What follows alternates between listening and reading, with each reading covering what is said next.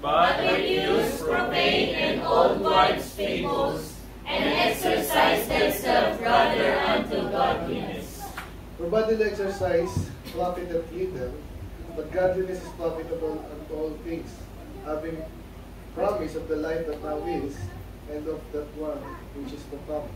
This is a faithful saying and worthy of all acceptation. For therefore, we both labor and suffer reproach because we trust in the living God, who is the Savior of all men, especially those of them, ah, especially those that believe. These things command and teach. Okay. Okay na po yan. Uh, ulitin ko lang sa 10. For therefore, we both labor and suffer reproach because we trust in the living God, who is the Savior of all men, especially of those that believe. Pray, Lord, ang salamat sa mga salita. Ang series na to, Lord, ano, na hindi pagpapala sa bawat isa. Dahil ito nga po ay uh, salita. Nakikita namin, Panginoon, ang ginagawa at ginawa ng mga likod ng uh, taas, Panginoon, ang bibig ng doctrine, Panginoon, na nakikita namin, tinutulong sa kanila, tinulong sa kanila, ngayon naman namin inaaral para sa sarili, Panginoon. So, I pray na palagi-lagi ang pag-aaral, Panginoon, at uh, bagay na uh, nahihinga namin, of course, uh, mag-iingat sa mga nakalagay, Panginoon, especially yung mga mga church, especially yung mga kayo yung mga mag-uwi, mga trabaho, kaaral, uh, pwede po bawat isa, especially makita namin yung relevance na pinag-aaralan sa aking buhay, Panginoon. So, lalo mga kabataan, may ang dahil tuloy sila dahil uh, ganitong lesson ay mas uh, gamit nila, hindi sila dito pa, Panginoon, salamat sa Remember, Lord, I pray na sila yung ay kapatuloy at uh, natin po Lord siya, God. Bawat isa pa kayo sa project sa Saturday, bawat isa, yung nakapagpapay program doon, uh, anniversary. Now po Lord, kaya pag natin in Jesus na yung pray. Amen. Amen. Okay, magandang gabi po ulit sa lahat. Title po nito is Trust in the Living God. May actually daming, di ba, pinag-isa-isa na eh. So, magandang focus dito yung yung good doctrine and then good minister. Okay? So, talagang pag-usapan natin yan. Pero nag-umpisa tayo sa negative. So, balikan ko lang po yung mga alala niyo pa yung uh, chapter 1. Nagkamit kasing recording ko eh. Alala niyo yung chapter 1. Tuloy-tuloy naman sa ano ko. Okay, tama. Ano daw po yung sa chapter 1 natin? Ano po? Go, go. Step 1. Ano yung series natin?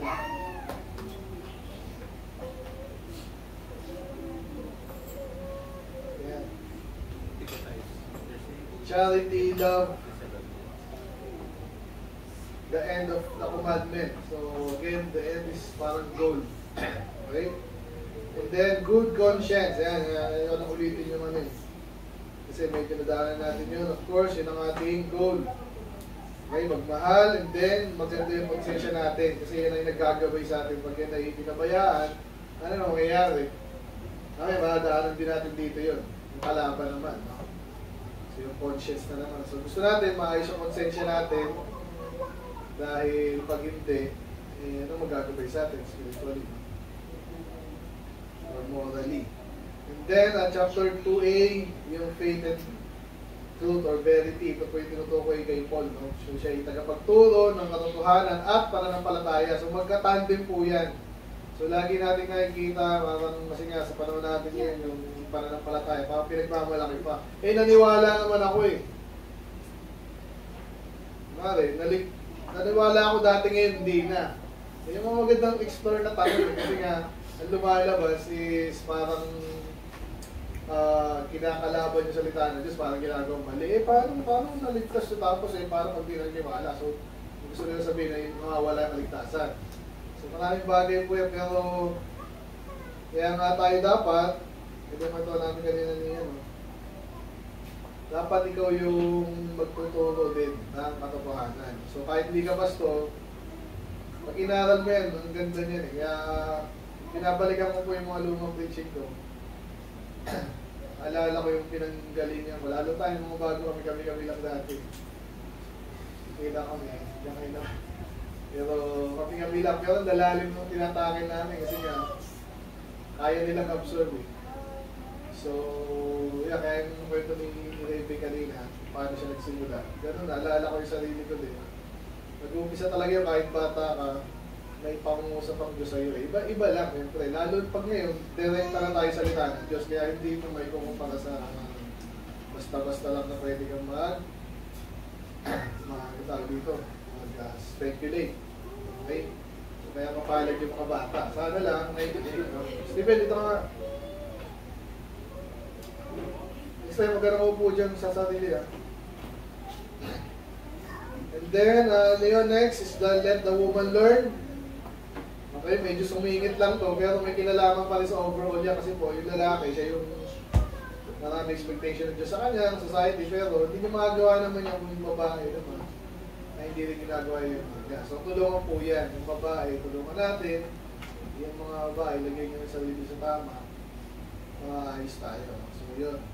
So, maganda ng ginagawa natin series na nadadaanan natin yung mga sustansya talaga ng scripture. And then, after nun, binigay naman yung mga qualification no, sa pastor at deacon. Yung nakabutang na yun ba? So, kaya yun eh, magkasama ko yun eh.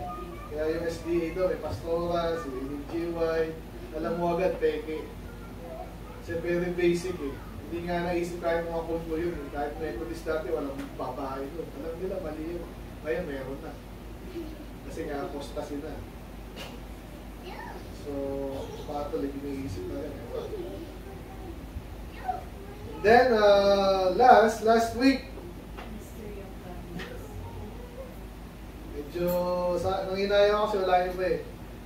Kasi napalalim lalo din kami na kasi nga mystery. So, kaya, pero dito ka lang bad, no? Kaya yan po, na kaya nasa YouTube po yan para, ano natin, uh, review natin. Okay? Okay, so ngayon naman ay uh, tuloy po yung mga ano po to again, uh, letter ito ni Paul kay Timothy and therefore, eh parehong mga likod ng Diyos siya. Noong first century. So, ang ganda pag-aralan ko rin nangyayari sa panahon nila. Nasabi naman dito. Kaya nga last week, tatlong verse lang po yung in-over natin last week. Pero, di ba? Parang nakalagpas isang oras tayo kasi nga. Marami. Anyway, ito naman. So, mag, mag uh, ulit-ulit po yung warning, di ba, ni Paul kay uh, Timothy. So, dito na naman, bago niya ibigay yung mga positive na ano, no? Bagay dito, again, title natin is Trust in the Living God. So, very basic, no? Magtiwala ka, lagi ang tinasabi yan kasi sa kaligtasan pa lang, hindi ka marunong magtiwala, may mga tao bang ganon? Puro duda. Magpakita mo muna. Na mahal mo, kung ano man yan, ibinigyan mo ngayon, nakalimutan na. Kasi hindi ganun tayo dapat mag-operate. Ikaw bilang bata, natututo kang kanino magtiwala din. Kasi maraming tao dyan pwede magbigay siya kung ano man yan. Diba? Kaya yung sasakit ng loob natin, sa, yan nga, naawa tayo sa mga tao, hindi naman nailigtas sa pumuputak mo ng churches, di ba? Mga kulto. Kasi, minsan, mababaw din kasi sila eh. Kung saan meron, doon. Kaya itong mga kasama nyo dyan, basta mo nagabay-bay sa akin. Isa, isa ka na lang ah. No? Kaya iba naman nandiyan. Pero, ganun yan, nakita ko na rin yun. So, kaya pinag-pray natin. Pero hang, hanggang doon ka lang, lipat-lipat ka, para kang tipaklong, eh, dito ka naligtas. So, ka, diba? Ang panginayang, so, pero, kawawa lang. So, kaya pag-aralan ngayon natin, especially mag-focus tayo sa tiwala nga. So, lagi na tayo magtiwala. Kanino? Gano? Di ba? Yung pagtitiwala na dapat natin pagtiwala at kanino nga, gaano kadalas, at even lalo pag dumating yung time na ang hirap magtiwala, di ba? Kailan mahirap magtiwala? Kung may mga pagsubok, okay? Uh, discouragement. Ako, madalas discouragement sa akin. Naramdaman ko lang kasi nga nagbibilang na ako. Una talagang wala lang, parang ako tinatabla. Kasi parang gano'n siya kung bata ka. Palaban niya, patay kung patay eh. Pag naramdaman mo na, tumatagal na tayo, yung konting ano lang, nakaka-discourage din. Katulad yan, sabi ko kanina. Uh, pag nakikita kayo pa sa inyo, hindi lumalago, yung iba naman ay mabagal, yung paglago, yung iba naman ay okay, tapos nga ganun. Ano itong welcome, so nakaka-discourage din, pero yun nga, ang pagtitiwala kasi, umpisa nagtiwala ka hanggang matapos yan dapat. Para hindi tayo apusin. Okay? Anyway, sige, tuloy natin to, no? Kaya sabi dyan, now, so ba't now? Kasi nga, yung pinag-alaman din last week, yung mystery of godliness, eh. So, after nating mag, ano doon, ano natin ng konti, yan, so si Jesus pa rin yung bida dyan eh. So, yung sinasabi ka, uh, Mystery of Godliness dyan, ay nag-focus kay Jesus. So, minsan ang hirap intindihin ng kahit yung batang kristyano kung bakit ano nangyari yun. So, ngayon, sa, ngayon ko na pagkoconnect-connect, may kinalaman lahat yan sa lahat ng bagay actually. Bakit si Jesus ay uh, katawang tao, And then, kung bakit ginawa niya yung ginawa niya. Okay, so yung isang kinalaman sa kaligtasan yung mga tao yan. Anyway, ito na yung medyo negative kasi nga, parang yung namin kanina, minsan darating talaga yung discouragement. So, ginagawa kahit sino sa inyo, kunwari, ah, uh, ano ba, kunwari, sino bang, ito, mga magdadalaga, uh, yung binata, siyempre, nasa utak ng ano minsan, sino nakikita sa labas eh, ay siya, meron siya, meron na siyang jowa. Hindi sabi yung gagawin din pala yun. Pakasal lang yun. So meron siyang ganyan, di ba? Boyfriend, girl. Kasi ikaw naman ngayon, nangangarap ka na rin, di ba? Yan masama yun, ha? So, ilagay nga sa tama. Ngayon, kahit sa pag-aaral, pagtatrabaho, ano yung advice na madalas ibibigay sa inyo, yung mga maguno? Para hindi kayo discourage, di ba? Binibigyan kayo ng reality check na tinatawag nila. Okay, maganda yung mag-asawa, pero mahirap yan. May mga downs yan eh. Di ba? Pag medyo nakailan taon na kayo, nagkakasawaan. Depende nga kung paano inalagaan o hindi inalagaan yung relasyon nyo. No? Ganun din naman sa trabaho. Una, masipag, matapat, mundang huling, pera-pera na lang. Ganun yan eh. Wala na, hindi na iniisip yung kapakanan ng ano. So, nagkakaka. Hindi na nagkakaisa, ang iisa na. Ganun yan. Totoo lang. Kahit minsan, yun ang malak masaklap sa church pag nangyari yun, di ba? Nangyayari din, pero hindi maganda. So, gusto ko sabihin, inuunahan tayo ng kung sino man yung ating uh, binibigyan tayo ng counsel ba? Na yun. Ikaw masyadong ano dyan, tiwala ka lang sa Diyos trabaho, maghahapit masyado, puro trabaho din na balance. Kasi sa uh, pag-asawa at sa maraming bagay, no? pagkakaibigan. Kaya ngayon, ito si Timothy, nag-uumpisa siya ng sa ministry niya, ano yung isa sa mga sabihin ni Paul sa kanya? Ganun din. Darating yung panahon, sa buhay man natin o in the future, ano daw sabi, now the Spirit speaketh expressly that in the latter times some shall depart from the faith, giving heed to seducing spirit and doctrines of devils. So, isasay natin ha. So, darating daw, pag sinabi kong latter times, ibig sabihin lang yan, sa susunod na mga panahon. Ay, hindi sinabi niya kung gaano kalapit na gaano kalayo. But still, darating daw. At uh, sino daw nagsasabi? Yung spirit Mayroon sinabing speak it expressly, pinapakita yan. Okay? So ngayon, kung alam mo na na magkakaganon, okay, balik tayo sa special kanina, sa mga mag-asawa, hindi nakita mo yung kapitbahay nyo dati, ang sweet-sweet nito, ngayon, nagsusunto ka na. So ngayon, anong sinasabi sa iyo nun? Ngayong kabataan, nangangarap ka rin mo. Mag-ingat ka, paghandaan mo yung panahon na yun. So, syempre, huwag mong gagayahin, pero sakaling gano'n, planado ka na. Isipin mo yung dapat mong uh, ano ka, may magulang ka, may mga anak nyo. Diba? Ganun din sa trabaho, isipin mo yung mga pagplanuhan mo. So, ganun ginagawa dito. Spiritually naman, uh, huwag kang ma uh, mani-discourage. Okay, dahil ito si Timothy kasi pastor to eh. So, normal lang yan, parang ganun sinasabi, no? Parang, yun nga, di ba, nag-aalisan sa GC yung iba, ganun naman, parang di tayo sa sarili na tayo. Hindi tayo nasanay dyan eh. Pero pag mga baguhan kasi parang di-discourage, di ba? Ano mo mayari, ayaw na nila. Paano ako? Ayaw ko na rin, ba? Pag, mahina-hina ka, ganun yan eh.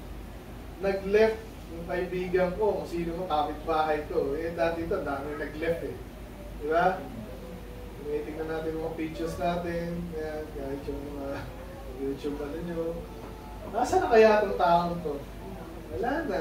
Buti na lang, napaganda ko din kasi nga, si Pastor ganun lagi yung mga kwento nun. Kaya alam ko na rin, di ba? Kaya huwag kayo mali-discourage. Ang unang mali-discourage yan, si Pastor, di ba? Is kayo pa. Ngayon, huwag naman kayo masyadong, ano, kalos, no? Siyempre, huwag kayong malungkot, di ba? Pag naalala mo, pero Again, uh, i-deal mo ng tama. So, yan po yan. At hindi pa yan dyan, ha? Sabi dito, giving heed to seducing spirits. Yan. Kaya nga, magkikilala sa inyo si Yakuwa, di ba? Yung kaibigan namin. Ang mabait na mga kaso. Ba't naniwala siya doon? Yun lang, naniwala na siya. So, dapat huwag ka magugulat, gaw gawin mo na lang ng mabuti yung dapat mong gawin. For example, yan, tulad niya. Pag anong gagawin mo, mare, si...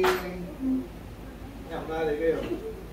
Christian, kunwari, may nakakausap yun ng sino, tapos magdududa na sa Bible, anong gagawin mo?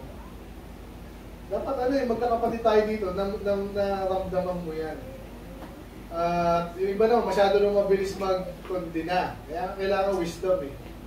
Di ba? Hindi pwede, alam mo kung nasan siya, abutin mo siya doon, hindi yung, yung condemn mo agad. Lalo nang na, uh, ala niya, wala nang pag-asa, tingin niya na sa ano, judgmental kayo lahat. Diba? So, yun yun. So, inahanda tayo dito. May mga seducing spirit. May, dapat alam mo yan. Alam niyo si Diyos, alam niyo siguro yun, di ba? Ano sa... Hindi naman nahihiya yung mga makasanlibutan. Alam niyo may seduce. Di ba? Ano ang example natin yan? Alam niyo kwento ni Joseph, di ba? Tsaka ni Potiphar's wife. Yun yun, di ba? Halika dito. Ikaw, ano ka ano yun, di ba? temptation talaga, sinisidyus. So, yung hindi dapat gawin, gawin daw. Hindi yun isang beses lang. Madalas yan ay paulit-ulit, unti-unti, ganyan din po kahit sa doctrine. Okay? Sabihin niya, ah, totoo ba yun? Ah, ganyan.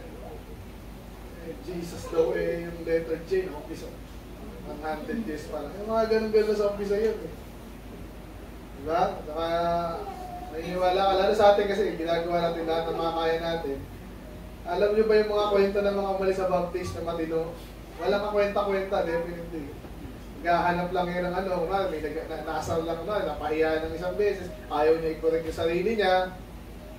At hin, habang di mo na ako correct yan, parang naghahanap ka lang ng ano, pula sa iba. Kahit wala kwenta-kwenta, pag dumating yun, for example, si... Naman, lang ah, sino bang hindi maramdamin dito? Kasi DM na lang. Kunwari, isang beses pinahiya ko ito si DM, dalawang beses. So, meron na palang ano, diba? May tanim ng tama ng loob. Ngayon, wala siya masasabing umalis sa church kasi una, tama ang Bible, ginagawa natin dapat natin gawin, wala namang perfecto dito, so wala akong ano eh. Pero may biglang, kunwari, ano ba, example, kunwari si yung anak ko, example, yung madalas kasi sa church, yung mga anak ng pastor, kinakatisugan. Sabi, eh, anak mo, pastor, eh, dapat ganyan eh, hindi siya ganun.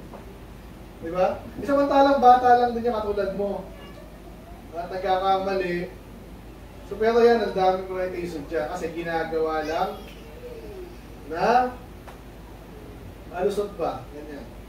Kasi alam mo rin naman yun eh, kung bakit ka ano, aalis sa church dahil sa malino anak ng pastor. Hindi na masyadong ano, malala. Okay? Po yan. Ano magandang ano dyan? Yan, kaibigan natin isa, eh, hindi ko na sinasabi yan kasi kalos na rin eh. Sabi ko, pag doktrina, parang ayaw na eh. Bahala ka na dyan. Yung magiging sa inyo last time na, yun, nakikipag Nagipag, nagipag fellowship ba sa mga Calvinist? Alam niya Calvinist. Para lang may makuha, ganun yun eh. Alam na alam ng mga tao yun, kaya actually nakakahiya yun, di ba? Yung, yung nag-usap namin kanina, di ba? Eh. Kaya yung ginagawa natin dito, sana nino-observe nyo. Kumpara nyo sa iba, kung makikita nyo yung sa iba. kung paano tayo naglilingkod sa Diyos dito, hindi tayo nag uh, gimmick-gimmick. Okay? So kaya ganyan po yung sinisi Diyos kayo sa isa. Kahit yung mga maayos na pastor, ganyan nag-uumpisa yan. Maayos ngayon, palaban, nagawa yun, maya-maya, yung eh, pastor din yun eh, oh. Eh, pastor din yun, kaya ba nagko-compromise sila? Tapos ma-railed nyo ng mga excuse. Diba, ganun yan eh. Ah, okay lang naman minsan ganun, okay lang naman. Ah, okay lang. Alam mo ba, dyan siya nagkaroon ng ganun. Ah, ganun. Nasisig Diyos na. So, ganyan yan. Kaya, lalo na to, mamaya, may ginagawa iba dito. Ano yung doctrine of devils? Ay, posible lang mga, ano ako dyan, eh, sa demonyo yan eh. Yan, napakagaling ng demonyo manloko nga eh. Unti-unti lang naman yan eh. Kaya, mga bakla, paano yan natanggap ng mga normal na tao? Unti-unti yan. Hindi yung biglaan. Okay. Ito na yung mga example. Hindi po to kompleto, pero Actually, tama ka naman ito sa Catholic eh, pero pwede mong i-apply ito sa iba, no? So, ano yung mga example niya na pang seduce, yung mga maling gawain na dapat na pag-ingatan, hindi natin gayahin. Una dyan is speaking lies in hypocrisy. So, uh, obviously, hypocrisy, mayroon agad kasi numalingin dyan. Again, hypocrisy is uh, sinasabi mo, hindi ka naman ganun. Especially, uh, positive, no? Ay, na pag nasabi mo ganyan ka, hindi pala, or baliktad naman, ay, naaawa ka, pero hindi naman. Uh, kunwari, maka-Diyos ka, hindi naman.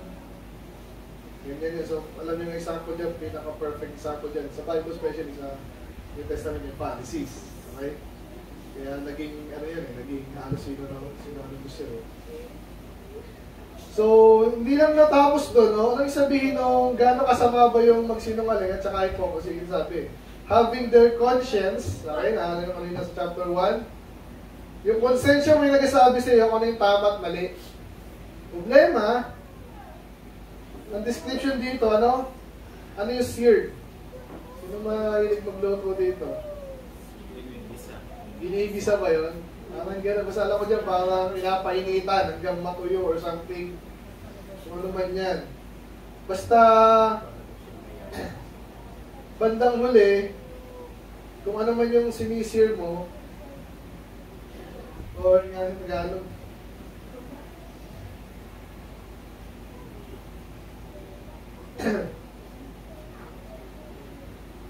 hinerohan. Nako, lalong di natin alam. Ang kanilang mga sariling budhi. Waring bakal na nagbabaga. Okay. So, hindi natin masyado naintindihan. Basta inaano yan, iniingitan, no? At binigay nga sa atin yung ano dito, with a hot iron. So, alam niyo siguro yung plancha. Hindi plancha, basta iron. So, sakit niyan. So, madalas yan sa tip ko sa YouTube, yung mga mga ano iniingitan. Imagine mo, alam mo yung konsensya, di ba? Kasi may tinatawag tayo sa mga taong malambot ang puso, di ba? Ibig sabihin, ganun dapat tayo karamihan ng bata. Hindi yan tipong na, papatay ka ba, no? Cold blood na, ano? Hindi mo nga na-imagine yun, pero pag panood ka ng panood ng ganyan, hindi mga sa iya. Dahil mga pelikula sa dati, nakapapanood akong ganun eh. Ewan mo lang, ako manood? Kasi wala akong magawa minsan. Ano, cold-blooded, sabi nga nila si Steven Spielberg, hindi nga ako pinapa, hindi lang niya pinanood sa anak niya yung mga ano eh, pinagagawa niya sa ano, Jurassic Park. Ewan ko ba, pero sabi, ba't yung pinanood? Eh, kasi, ano, sa amin pinapanood mo. Ganun pala yun. Kaya, ingatan niyo po yung mga puso niyo. Amen? Ganun po yan. Lahat ng kasalanan, huwag niyong asanayin yung ano na. Amen? Kasinungalingan, kabastusan, hindi nag-umpisa kaya pag nag-college kayo, ganyan, ganyan. Huwag nyo i-tolerate yung ganyan. Okay? Iganyan mo na lang siya. So, pwede change topic, kung ano may yan, mahalata nila yan. Huwag na huwag nyo sasanayin. Ganun din, pag pinapagalitan na kayo, anong gagawin nyo? Yung iba sumusunod, yung iba at least nalulungkot, yung iba, pinatigas na yung puso. Anong nangyayari doon? Anong ginagawa nun doon? Ano yung kayo doon? Ano mangyayari? Binalik ko tuloy yung ating ano, chapter 1. Basta ibig sabihin, yung function ng conscience nyo, natasabihin sa tama at mali, wala na. Sunog na eh. Di ba? So again, balik tayo sa ito. Dito naman, yung mga kalaban to eh. Ngayon, ano to? Kaya huwag kayo magtitiwala. Ito pong mga bakla naman. Sorry. Kasi yung nasa feed na naman yun, itong mga katolik, mga hipokrito din to. Eh. Sabi ko naman, ah, yung baklang si ganyan, eh, may ano daw, blasphemy. Ay, naasahan mo. Di ba? Kaya tayo, hindi tayo nagagano. Kumari, si Pastor eh, sinabi sa mga ano, blasphemy. Hindi, hindi tayo ganun eh, di ba? Kulang na kulang yun eh. Nung inaasahan mo ka ng demonyo. Dapat ganun para yung tao, hindi lang nagiging hipokrito niya katulad mo. Kasi banda ko, babalikan din yung mga kare. Kayo, dahil bakla sa inyo, di ba? Eh sa atin, tinuturo natin exactly dapat paano lalabanan ng mga tao yan. Tayo lang gusto. Pero, at sila, ganoon din. Kung may mga karinig niya, na kaya pala gano'n yun, na pala demonyo yun. Ha? Ano asahan natin dyan? So yun, so dapat maintindihan natin, mga especially mga bata, alam, alamin nyo, kaya sabi ng Bible, may mga ganyan tao. Okay, huwag nyo gayahin, pero kung sakali may encounter nyo, hindi kayo tipong magugulat. Ay, may tao palang ganyan. Wala naman siguro. Diba? Kaya mag-soul winning tayo. Gano'n natin kadalas. Diba? Anak ng demonyo. Binibigyan mo. May ganun ba? May pag-asa pa ba yung anak ng demonyo? Diba? Nag-struggle sila eh. Kasi tinuro sa kanila, basta magbago. Paano magbago ang anak ng demonyo? Kaya kina- categorically, categorically, sinasabi na natin, meron sa Bible ang demonyo, mag-ingat ka dyan. Okay? So, kahit sabihin nilang, uh, yan, mga mabait kami, mapagmahal kami, naku, naloko ka na. So anyway, isa yan, ha? mga hipokrito, mga parang wala ng konsensya, okay? Mga reprobate po yan, mga ano yung sa na, tawag dyan, yung psychopath. Alam niyo yan, kung kayo yung reprobate, biblical kasi yun. Yung mga sa, walang alam sa Bible, pero alam nila yung science, ang tawag dyan, psychopath. Parang wala ng pag-asa. Alam nila yan na science. Yung mga taong ganun. Anyway, another thing, sabi niya, forbidding to marry. Diba? Ngayon, huwag niyo kong sasabihan ganyan. Hindi ka na sinabi, huwag kayong magkasama. Sabi ko, ilagay sa tama, tamang lugar, tamang tao. Hindi tayo nagbabawal dito. Diba? Kung natin magbabawal yan, ang natural person pa yun. Life, diba? So, pero meron daw na darating sa na panahon, may mga tao pagbabawalan yung ibang mag-asawa. Sino kaya yun? So, kaya madalas dito nga, yun yung katoliko kasi lahat to ginawa na nila eh, di ba? Yung pare, kunwari, bawal. Sa batas nila, bawal. Pero mas malala pala. Di ba? So, ang, ang linaw nito, binasa lang nila ito, iwasan nila yun. Yung ginawa nila. At hindi lang yan, yung kasunod nun, commanding to abstain from meats. Sino yung nagbabawal ng ano? Sa SDA. Catholic. Ito. Mare. Iglesia ni Manalo. Kasi yung mga Judaizer, laging ganyan. Kasi may mga naintindihan sila eh. Kaso, hindi nila naintindihan nung binagot, interpret na, na pala ng Jesus yun. Yun hindi nila nakakuha. Kaya kuha ng kuha sa Old Testament, pagmamalaki. Ito sinabi ng salita ng Diyos eh. Oh, kapag ka kumakain ng baboy, oh, yun na yun. Na yung usapan nyo. Kaya, yan, oh. hindi pinagbabawal yan. Kasi, which God created, lahat yan, ginawa ng Diyos para daw kainin, lalo na pag yan ay uh, tinanggap mo naman pag, pag, uh, ano, pagpapasalamat. Wala nang mali dyan. Before, may pinagbawal talaga ang Diyos, malino naman sa Bible, kaso, ano, iba na yun. meron lang palang uh, in-illustrate ng Panginoon doon ng mga dietary laws. Okay? So ngayon, huwag kang sobrang kain, pero at least, malaya ka pa rin. Hindi, hindi natin gagawin spiritualize yun. No? Spiritualize mo yung pagkain mo. Mas spiritual ka kasi ganun yung kinain mo.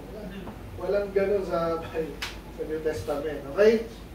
Kaya nakita natin. Pero ito nga, uh, kinontadict nila to at, di ba? Lalo Catholic, saka yung iba pa. Ayan. Ano sinabi ng Diyos na gagawin ng mga loko-loko, ginawa nila. So, yan is a sign. Anyway, which God created us. Pagsunod tayo dyan. Ito, kadugtong pa rin ng dietary no, for every teacher of God is good and nothing to be refused in So, inulat lang. Will be sanctified by the word of God in prayer. So, again, dietary, wala tayong problema dyan. Okay?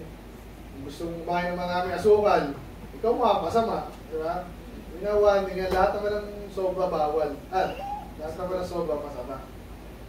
Eh, pero ikaw yung hindi ka pagbabawalan at lalong hindi kasabing mas spiritual ka dahil sa kangkan na bagay. Okay? Sana na-explain natin lang sa mga kapatid. Na, if thou put the brethren in remembrance of these things, okay na, ang ano nito, hindi lang basta kay Timothy, So tinuturuan ni Paul si Timothy kung paano gagawin sa ibang kapatid. Kaya magandang ano to eh. Sa mga pastor tsaka kahit kayo kung musuporta kayo, di ba? So ganun daw, pag alam mo to, na mangyayari itong mga to, darating yung mga yan, anong gagawin, anong mangyayari sa'yo? Another point na naman to, kaya mga baptist na mahina sa sa doctrine, saka sa heart preaching, hindi sila good minister eh. Okay, nakita nyo ba dito? Kung ikaw daw, alam mo yung kalaban, inaaral mo, iniiwasan mo, at pinapayimos mo yung iba, at tilang tinuturo mo. So, bilis ako lang dito kasi sa overview. Pero ito basically ginagawa natin lagi. But tingnan niyo natin mga sermon, ganun ginagawa natin. Dinidetali natin, inaalam natin yung dapat natin gawin. Kasi daw, kailangan gawin nyo ng pastor para sila, mga, mga kapatid, ay matuto. Okay? Again ha, ulitin nyo ha, ulitin ko lang. Ang mga ang uh, pretext ito, immediate pretext ito, pagwa-warning sa mga loko-loko. Okay? Kaya lagi natin ginagawa yan. Sabi dyan, pag ginagawa mo yun, pinapaalala mo sila, may, may magiging ganyan. Ito, kulto to, ito, masama to, huwag natin gayahin. Ang sabi dyan, ikaw daw ay magiging mabuting ministro. Okay, again, pag ministro, ibig sabihin lang po niyan ay tagapaglingkod. Okay? hindi yan uh, hindi yan na exclusive sa ni Manalo. Okay? At hindi lang minister, good minister of Jesus Christ. Okay? So, gusto niyo ba yon? Hindi lang kayo ministro, mag mabuting ministro. Okay? Sana ganun tayo lahat. So, yan yung pinag-aaralan natin lagi. No? Kung alalahanin ko lang ano ba, uh, anong mga ayos maingat, nagbabasa ng Bible. Bakit? Kasi doon mo makikita yung mga mali at tama. Eh. Nawawaningan ka. Alam mo yung sinabi ng salita ng Diyos, minamingan ka sa ganyang klase ng kasalanan, sa ganyang klase ng panluloko. At even na uh, hindi lang outside of you, no? within the church, saka ikaw mismo. Problema sa atin minsan, nakatingin tayo lagi sa labas eh. Kaya iba, hindi natututo. Minsan, may meron sa atin gano'n na pinag, pinag-check mo na spiritual ka, pero yung sarili mong phone, di mo nakikita. Pero ibang tao, kita-kita na, glaring na nga. Eh. Itong tao, ano ba to? Diba? Mayabang, mapagpalaki, kung ano man yan, makapagmarunong, ano man. Yung mga kasalanan nyo, pakingatan nyo. Mas maganda nakatuto kayo sa sarili nyo bago sa iba. Lalo sa pagtingin sa kasalanan. Okay? So, yan po yung ating actually dyan tayo ano, eh, focus eh. Anyway, ano pa? Knowledge in the words of faith and of good doctrine yun. So, paano ka daw magiging mabuting ministro? Dapat yung mga inaalagaan mo, yung nagpapastoran mo, or sa, sa case ng mga hindi pastor, yung mga kapatid nyo. Di ba? Ay, bago tayo dito, alam mo naman, pagkompetensya ka, mas pogi ako sa'yo. Hindi mo sasabihin yun, pero minsan, gagawa natin yun. Pa, mas matalino ako sa'yo. Ay, sa opisina, madalas yan. Eh, mas huwag sa church. Amen? Kasi dahil yun yung paglilingkod mo sa Kanya, alamin mo, laging gano'n. Alamin mo kung anong kailangan niya, subukan mo siyang tulungan doon. Okay, knowledge, pag sinabing knowledge, alam niyo yung knowledge di ba, parang pagkain. So, dito, dapat words of faith. So, Bible, yung college mo, yung mga bago, puro Bible.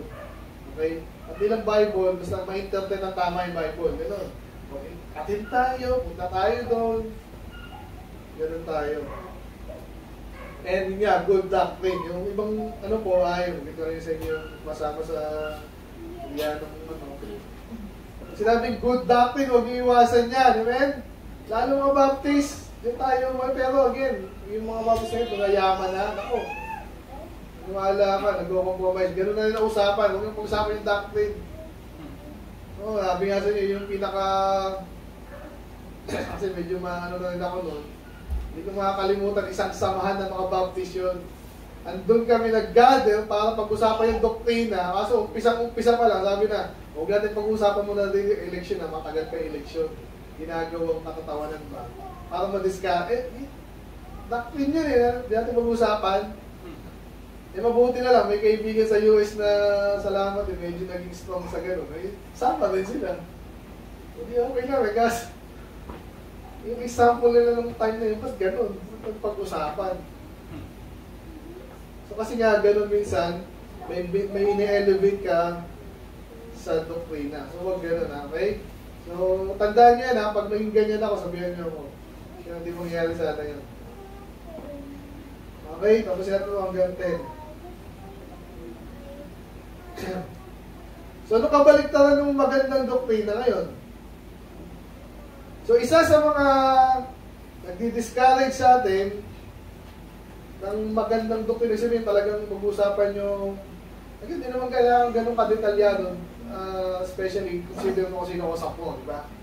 Minsan kasi pag talaga, may mga ganun din naman, eh, na usapan natin to pati history ng, ano, eh yung kausap mo, baguhan, Papa-impress ba? Yung mga ganun. So, tingnan mo rin.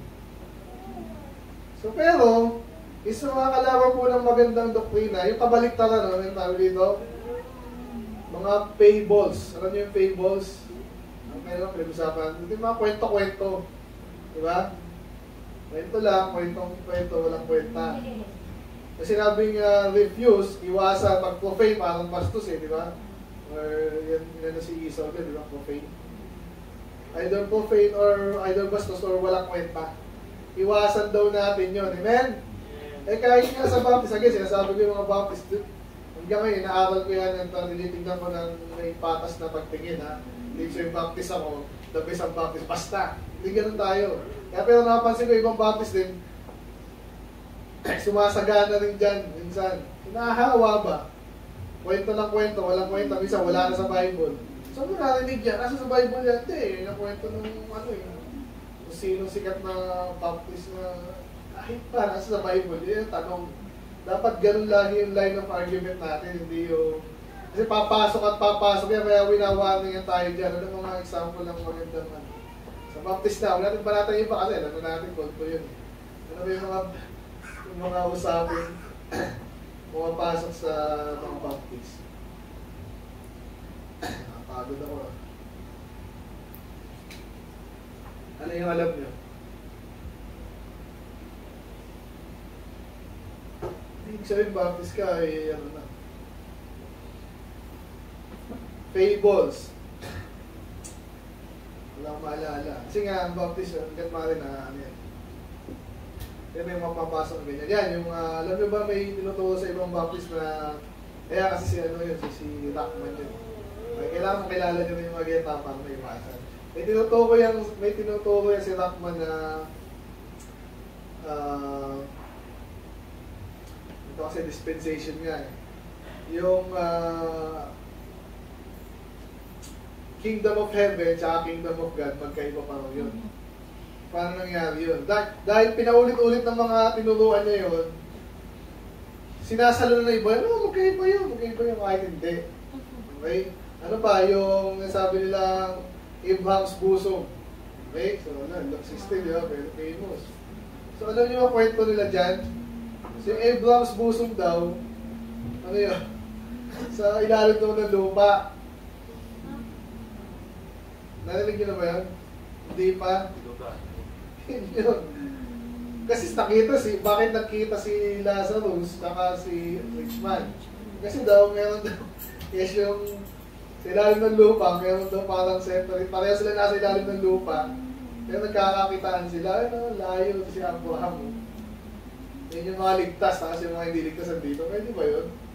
Dapat sila parang, kasi, literal nila to na sa Luke 16 na may great gulf. Eh, tama naman yung gulf, pero sabihin ng gulf kasi is uh, parang separation. So, walang iba yun, kundi langit ng impyerno. Eh, paano nakita yun? Eh, pinakita sa kanila ng Diyos yun. For whatever reason. No? Walang parang gano'n sila, Skype sila. No? Hindi na sa Skype. Facebook naman sa Viber. So, pinakita sa kanila. Kasi nga, kasi kung malayo din naman yun, no? Magkakarinigan ba sila? Hindi rin eh. Diba? So, ibig sabihin, miraculously, ginawa ng Diyos na magkausap sila at magkakita sila. So, pero yun ay din. Bakit busog at Abraham's busog? Hindi ako masyado magano doon kasi nga, yung nakakatawa yun kasi pag na-realize mo, ang daming baptist na nagsabi nun, yung pala wala sa Bible. Bali, supply. Okay, nagdanin po yan ha. Kaya dapat, ang kabalitan ng good doctrine, mga fables, saka ang dapat, ang dapat natin gano'n, refuse. Ayoko niyan, mali yan. Kahit pang sinabi ng kung sinong sikat na ewan ko, ba't nga lang sumikat? By the way, Billy Graham, for example, sikat na sikat kahit sa Catholic. Ano naman, compromiser yun. At talagang gano'n na nga. So, wala akong, hindi, baptist tayo pa yun. Hindi, Diyos. Yan, wala yun. Okay, so, at kaya ngayon, ano kabaliktaran nung mga fable, ito yung mga chismis-chismis, okay, mga kwento-kwento na magandang pakinggan, cute, kaso mali, hindi totoo eh. Iwasan natin yan. Ano yung kabaliktaran nun? Anong gagawin nila natin? Yung tayo mag-uusap, gusto ko lang maganda magkwentuhan ng, ano yun, ng speculate lang tayo kunwari ganyan. Sige, ito mga bata, okay? Minsan-minsan, talagang sobrang minsan? Pero kung uh, mag-exercise ka, sabihin nyo, ano yung madalas mong ginagawa? Eh, doon ka na sa godliness. Amen? Nakakita na ba kayo nag-object sa ano? Alam niyo yan eh, yung uh, sobra ka naman, nag-church ka ng linggo, linggo ng hapon, tapos pati Thursday, nakasumobra ka na sa langit, di ba? Ilang beses narinig yan? Oh. So, so mali yung kasi, ang idea nila sa ginagawa nilang negative yung positive. Yun lang yan eh. So parang binabaliktad tayo tapos para mapalusot sila kasi kung ikaw sobra ka, di kami okay lang. So yan, pero saan sinasabi siya dito, okay yun, mas okay yung godly, godliness tayo, yun ang gawin natin. Hindi tayo maasiwa doon, masosobrahan. So ito na yung medyo famous verse sa mga mahilig sa sports, no? Kaya sabi dyan, may basa nyo nga, ready, go. Bodily exercise profited little, But godliness is profitable unto all things, and having promise of the life that now is, and of that which is to Okay, so come. ganito, may dalawang bagay na magandang bagay na kinukumpara. So maganda rin naman mag-exercise, diba? kaya wala sa sports. Pwede rin sa academics. Sinabi ba natin masama yan, magpaka-master ka dyan? Eh kung iniwanan yung gawain ng Diyos, para dyan. Kasi kunwari, dati kang top 2. Gusto mo maging top 1. Kaya pati linggo, kailangan, di ba? Anong, anong gagawin mo? Gusto ko maging top 1 eh. Work hard. Eh kaso, eh, mag-church ako eh. Di, nahati yung oras ko tsaka yung energy ko. Ha?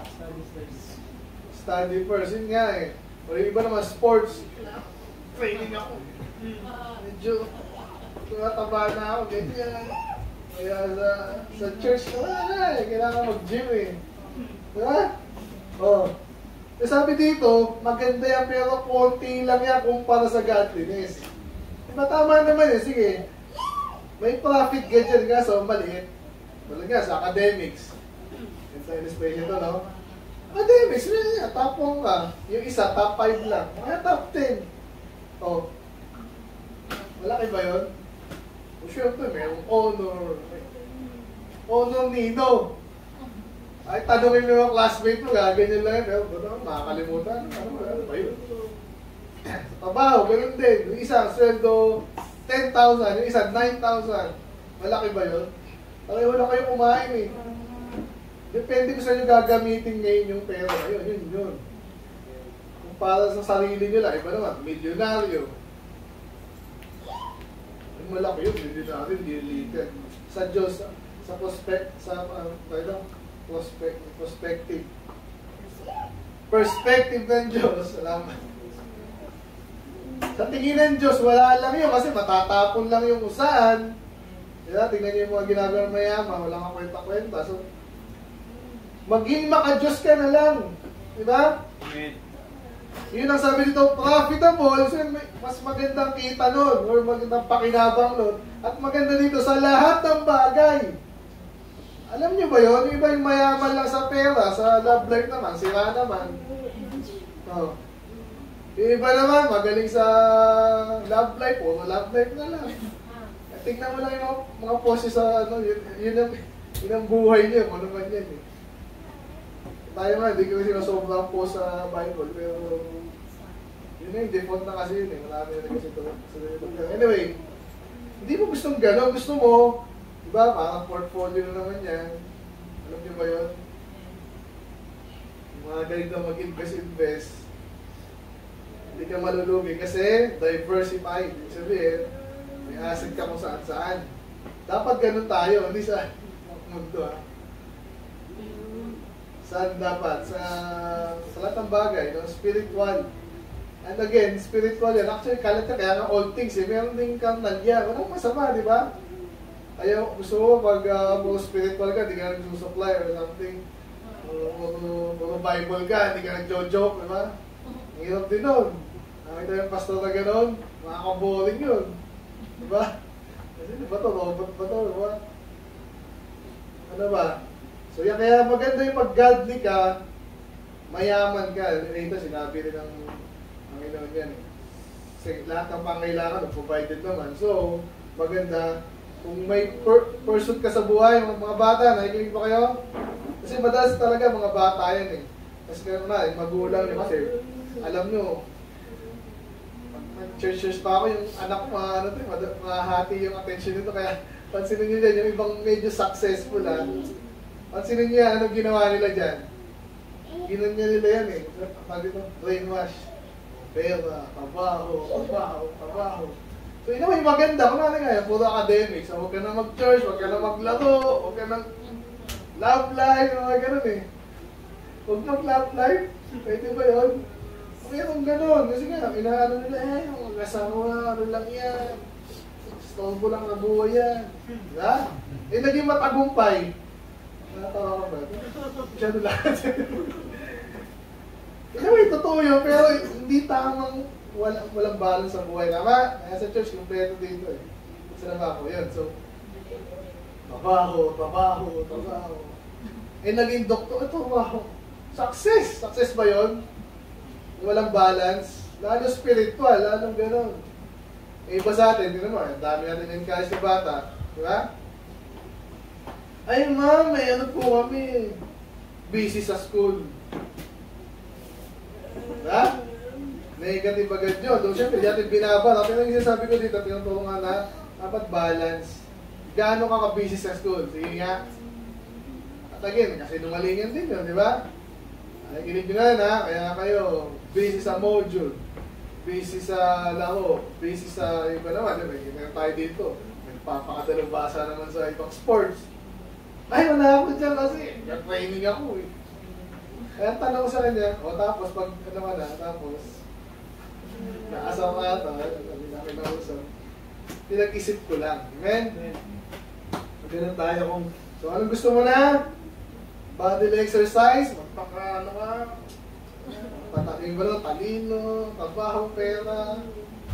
Sabi ng Bible, maging godly ka na lang. Amen. Lahat yan. Tangay. Okay, kaya hindi, hindi ka masyadong mayaman, hindi ka masyadong maraming famous. Kung, eh, kung, kung balance yan, mas masaya yun. Okay? Hindi lang yun. Okay, ito yung maganda dito eh. Hindi natapos sa earth. Di ba? Sa earth pa lang, ano ka na eh. At least may konting kaibigan, konting blessing, konting kalusugan, konting... Yung godliness pala hindi lang dito. Yun yun. Okay? Sabi dito, ma- magiging maganda ang buhay mo dito. Pati sa buhay na kasunod. Ano yung sabihin nun? Kaya ano eh, isa tinatawanan tayo yung mga yan, nandang muli, sila yung mga laylanis. Kaya iba kahit yung mga ibang ipokrito na hindi naman ligtas, mapapansin nyo medyo nag-ano rin tawag yan, pontificate, di ba, about church matters, di ba? Ha? Ano yun? Hindi, sabi ko yung napansin ko sa ibang kunwari, nalaman na ikaw, ma Bible ka. Di ba pinag-aya ba? Sila kayo mag-sabi, ako nagbabasa rin ng Bible. Ako, ganyan din eh. Ano siyang palabas eh. Doon natin naaway, pero mapapansin mo bakit andun yung overcompensating yung tao dyan eh. Kasi alam nila wala sila nung meron ka. Okay, huwag mo lang pag-iabang, pero yun nga, uh, especially sa mga bata, i-practice nyo na lang. Kung mayabang, and then, huwag kang magugulat din yung iba ay hindi importante sa kanila yan. Sayang sila. Okay, so kaya tapos sila rin dito. Ating ano, no? Papunta po yan. Actually, ito yung mga sinabi dito. Ito yung sa mga focus yan eh. Para maging mabuti kang minister. Kaya sabi rin dito, especially, For therefore, we both labor and suffer. Sabihin, yung mga pinagkit na dito, okay, pahiging God din ng mga tao, tsaka ikaw din. Yan ang ginagawa natin. Diyan tayo nagtatrabaho, di ba? Pansinin niyo mga bata, ang ginagawa sa, sa alaala no? So dito, medyo kasi na-focus tayo din eh, di ba? So tayo dito, nag-label din tayo dito. Pero kayo, kitang-kita niyo yung label natin doon. Napansin niyo ba yon? Yung gastos, yung time, yung pagod. Ano kaya ginagawa yun?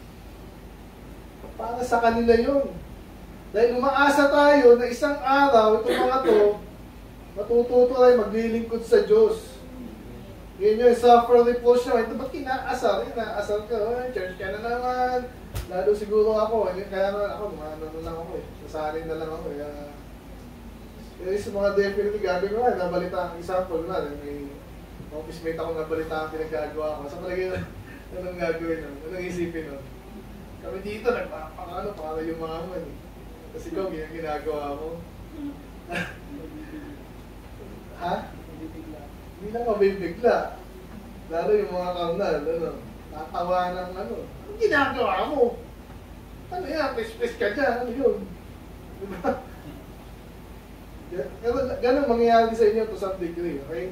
Kaya inanda kayo. Kaya ngayon, hindi namin tindihan, pero ito yung dahilan. Bakit tayo nagpapagal? Bakit natin hinahayaan tayo ay, pag sinabing reproach kasi is yurakan yan eh, nga ba? Yura, ba't na hinahayaan yun? Walang may gusto nun. Yung bakit na hinahayaan kasi nagtitiwala tayo sa buhay na Diyos. Amen? Amen. Sabihin, sila, hindi nagtitiwala doon, hindi na maintindihan. At pag nagliligod ka, tagal yan, dekada yan eh. Alam niyo naman sa nakikita, di ba? Five years na tayo ngayon, ano ba na-accomplish natin? Sa iba parang wala. Kaya may mga Baptist din na nag-compromise na, ganyan tinginan yan eh. Ano ba kayo dyan? Diba?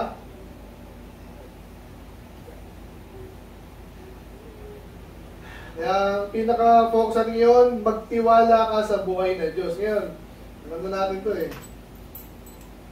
Ngayon, Pumunta ko ng 1 Corinthians ba o 2 Corinthians 6, 14 to 18? Sabi dun sa ano, For ye are the temple of the living God. So, hindi tayo parang yung mga katoliko na patay na sinasamba nila, binibihisa nila, nananakaw yung Diyos nila. Kung pinaglilingkuran natin, buhay na Diyos. So, ibig sabihin, hindi tayo dapat ma-discourage na parang, ano, wala tayong gagawin na sa atin. Hindi ka re-reward, hindi ka tutulungan, hindi ka protektahan. Tiwala ka. Amen? Amen. Isa natin kailangan sa pagkatin-atin lang. E ngayon to, pang bago to kasi kaya mainit eh. Ang sarap, di ba? Anong salita. Pag tumagal-tagal ka yan, ano na napansin mo, hindi ka pinapansin. Di ba? Ganyan yung mga ano iba eh. Kasi lang, walang ginagawa din iba. Na maayos. Di ba? Gawin mo yung maayos. Mapansin ka mga ano kami pa. Uh, ano pa? Ano yung discouragement yun?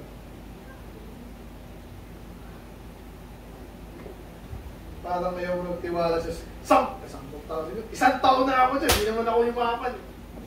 Wala ko blessing. Kaya ganyan, ano, ganun yung ano ng iba. Kaso nga hindi nila sabihin naman ng ano yan, diretso kasi alam nila mali. eh. Kaso tagal nila yung puro parinig lang. Kahit saan kang parinig yun. Puro parinig na ewan. Wala mangyayari dyan. Yun ang, ay dahil nagparinig ka. Pumunta kita, ganun ba yun? O dahil nagpaparinig ka, o ito na ang pera, o yan, sa'yo na yan. O, parinig pa. Hindi ganun. So magtiwala ka sa buhay na siya yung nagre-reward. Okay? Lingkod ka lang at pumasok dito yung tagapagligtas. By the way, meron pa tayong 6 minutes. Sabi dito, sino yung God dyan? Tanong. Pero Diyos. Pero ama o anak. Sabi niya, who is the Savior of all men? Sino ba yun? Sa Bible, Jesus our Savior. Paulit-ulit po yan. Hinahanap ko ngayon. So, bakit living? So, Diyos talaga ang Diyos. Ang si Jesus. Amen? Hindi po yan ha. So, yan. So, these things command and teach. So, tapusin natin dyan. The second part sa mga ano na yan. Ganda rin yan. So, sana ay, ayan, title natin, Trust in the Living God.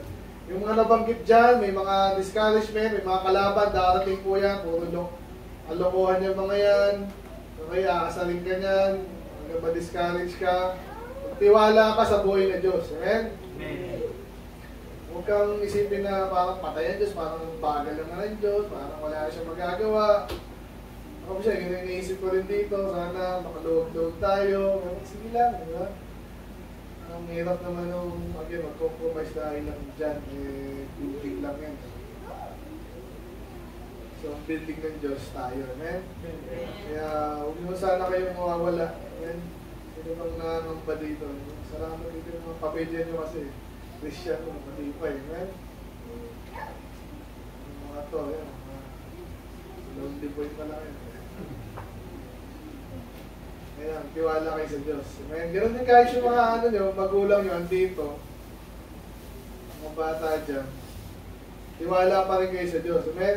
Eh, basta parang binigay na sa amin lahat, parang wala nang problema eh. Paano yan? Parang tip. Kasi mag, mag-upgrade ka. Ganun po yan. Kumari, si... Sino ba? Ah, Si Peter. Kaya siya, si Jana na lang. Kaya siya. Lahat, pasto, wala nang yung problema dito kasi eh. Ano ba gawin mo? Mag upgrade ka ng pag sa paglilingkod. Kaya mag-isip ka, pag alam mo na yung gawin mo, tuloy-tuloy, doon mahihirapan ka nun. At may-discourage ka rin, kasi darating yung discouragement eh. Amen? Pag wala kang ginagawa, di talagang wala. Hindi ka na usubok, hindi masyadong ano, kasi wala kang ginagawa eh. Go with the flow ka lang, oo, salamat, thank you. Uh, praise the Lord. Okay naman yan sa nag-aaral, pero gusto mong challenging ang buhay, ano, maglingkod ka yung mga konting nakikita mong parang hindi mo kaya gawin mo, subukan mo unti Okay? As on winning pa lang yan, mayayari ka dyan. Pero, tiwala lang sa Diyos. Ano pa, yung mga yung like example dyan sa DJX, eh, nag-decide tayo na mag-go tayo doon, ako, bigat. Financially. Pero sabi ko, kaya yan. Amen? Ganun. So, eh, dati parang wala na yung challenge eh. Di ba? Yung nangyayari sa atin. Kaya ngayon, masaya naman tayo. At least, mahirap. Pero yun, ang gusto ko doon. Kaya ako to. Okay, nagtitiwala kayo sa buhay na Diyos? Hindi yan sinasabi lang po. Okay, salamat. Nag-aiming kayo. Ngayon, isipin nyo, paano ko yan gagawin? Siyempre, pag nagtitiwala ka, may nung something na hindi gagawin ko ba ito? Hindi. May ganung factor talaga by faith na tawag. Obviously, hindi, hindi naman bulag ha, na, sige lang, kahit ano yan, by faith. Hindi ganun ang faith. Biblical faith. Dapat alam mo, alam mo, sinabi talaga ng Diyos, oh, gawin mo to. Okay. Nabigyan ko ng example, baka sabihin nyo, mo pera. Pero ito yung madali kasing example. Ay, lagi na magiging pera, madali, madaling example eh. Okay. Kunwari ay, nga, by faith, di ba? Kunwari, yan, iba, di pa mag-tights, iba, di pa rin Pag nag-tights ako, kulang ako. Paano yan? So yan, mga masusubok yung pagtitiwala mo dyan kasi kukulang ko sa kukunin yun. Diba? Pero pag tiwala ka, sabi sa Bible, kailangan kong bigyan yan. Hindi ka pagkukulangin ng Diyos. Diba? Kaya ganda ng station ng pera. Pero hindi tayo puro pera dito. Napansin nyo naman, di ba? Dyan kasi mag-uumpisa yan. eh. Minsan pag hindi mo magawa yan, ang hirap gawin para iba. So, winning ka pa eh. Di ba? Kasi maganda rin. So, winning. Kasi hindi na lalaos yan eh. Kahit ako minsan may, may fear pa rin eh. Yung iba yung itsura, di ba? Kasi iba lang, mayaman ako, wala, hindi tayo kapansinin nito. Yan, parang yung last time sa Quezon Circle. Ayokong lapitan kasi mga mga, mga, mga konyo eh. Ano yung konyo? Yung mukha rin pala ang konyo, yung mga mga konyo. Gusto ko sana ng English yun eh. Kasi di bagay sa akin. Iwala tayo sa Panginoon. Amen? So, kasi ano ba yung mga sa, sa finances, ano ba? Yan, so winning, ano ba? Sa pag-aaral. Kasi iba sa atin ayaw mo open sa iba yung pinaniniwala mo. Bakit? Kahit ang lino sa Bible. Kasi wala kang tiwala eh. Hindi ka nagtitiwala na pwede niya i-absorb din yung tamang tinuturo natin dito. Di ba? Ayan, ganyan. Ganyan, masterized. Oh, Kahit sa bakla yan eh. Huwag natin paalam. Ano ba yun? Dapat natin paalam kasi kaya, kaya sila nilalamon tayo sa society natin. Kasi wala kang tiwala sa Diyos. Kung pwede siya matutuhanan, sila matatakot. Matalas to, to sabi to, sword of the spirit to. Ba't ikaw matatakot? Ano ba? Tiwala sa Diyos.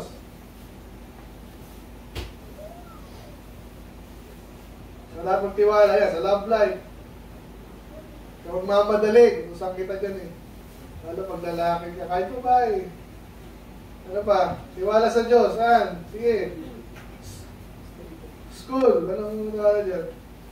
Eh, hindi na nga masyado ano eh, pero tama rin. Makakapasa ako, mag-aaral ka. Ano ba? Eh, yung mga kailangan din, financial din, di ba? Di di yata ako makakatapos, wag na nga. Lalo ka din makakatapos. Ano pa?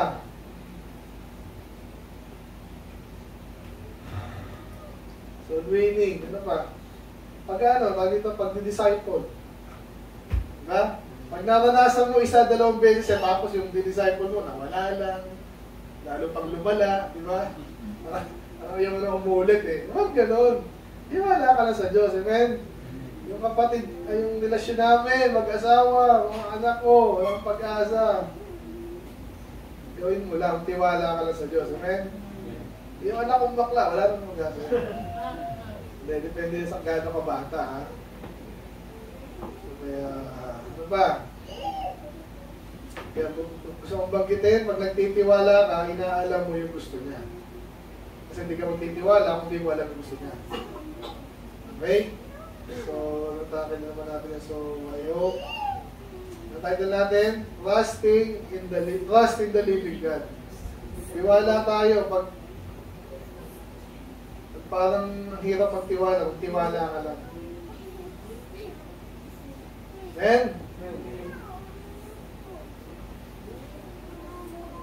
Okay, sige, let's pray. Lord, maraming salamat sa inyong mga salita again. Medyo basic yung faith ano namin. Uh, pinaka-message pa rin nun, pinaka-team, but uh, over po natin itong part na verse 24. Saan ay konkreto po dito, may positive, may negative, palaban, dapat iwasan. Sinabi naman po dito kay Lord para yung uh, makasanlibutan Panginoon na pursuit Panginoon at sa godly pursuit Panginoon. So I pray, ituloy kami kahit dito sa uh, letter na tuloy, in-stock lang ni Paul si Timothy. Napakagandang tagpo ito Lord sa amin na pinaututo rin. Uh, Arihin namin sa amin ito Lord para kami rin yung uh, acknowledge dito Panginoon para mag uh, bilingkod na maayos Panginoon yung mga bata rin na naghahanda Ganun din kami, Panginoon, nung doon kami sa panahon, ano, sa edad na rin kami. Ano nilang namin kung ano yung narating namin, Panginoon, at uh, maglingkod kami ng para sa inyo. Dahil doon na po kami sa sa perform na nawa, Panginoon, ay tiwala kami sa inyo, makita ng mga kabataan, pagtitiwala namin, minsan hindi nila maintindihan, Panginoon, bakit namin ginagawa, kami ginagawa. Tulad ng sinabi ni Paul, Panginoon, bakit sila inahayaan nilang laitin kami, bakit inahayaan namin na kami nahihirapan pa, meron ng ibang dahilan. No, makita nila yung dahilan na tama, Panginoon, bakit titiwala sa inyo? Dahil ah, kayo po nakakaalam na mas mabuti, kayong magdadala sa amin pa rin sa amin. Sa aming uh, karoonan. Again, kung titiwala ako, magtatapat kayo sa inyo. Nakakulay kayo, malalati again, ang pagkalain ng bawat isa, ng isang uh, tahanan. Uh, malalati Jesus name pray. Amen.